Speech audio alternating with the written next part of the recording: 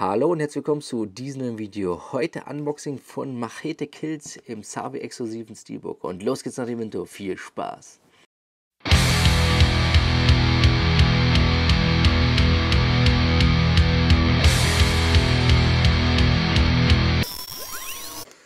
Ja, heute mal hier Unboxing von Machete Kills von äh, Savi. Ding hat, glaube ich, ca. 8 Euro gekostet.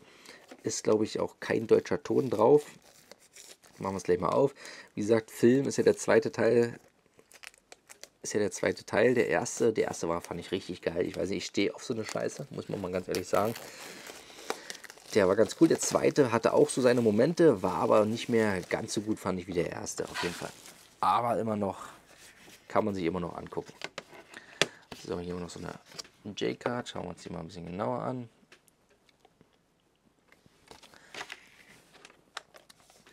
So, dann kommen wir mal zum Steelbook. Von vorne ziemlich cooles Motiv. Ist so in matt gehalten komplett. Motiv ist ziemlich cool, aber hätte ein bisschen besser sein können. Wie gesagt, man hätte die Blutspritze hätte man so in, in Hochglanz machen können. Hätte das ein bisschen cooler gewirkt, auf jeden Fall.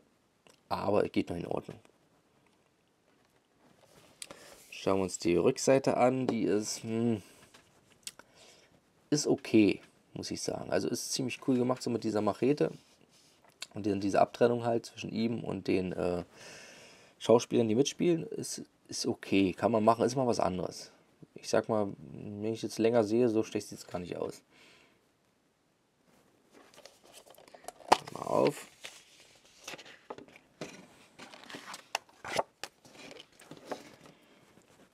So aus. Ja, macht einen coolen Eindruck. Wie gesagt, für den Preis ist es okay. Wie gesagt, ich hatte den äh, nicht als Steelbook.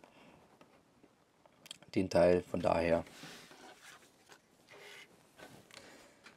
ist ganz okay. So, dann schauen wir uns mal die Innenseite an. Die sieht dann so aus. Nehmen wir den Disk mal raus.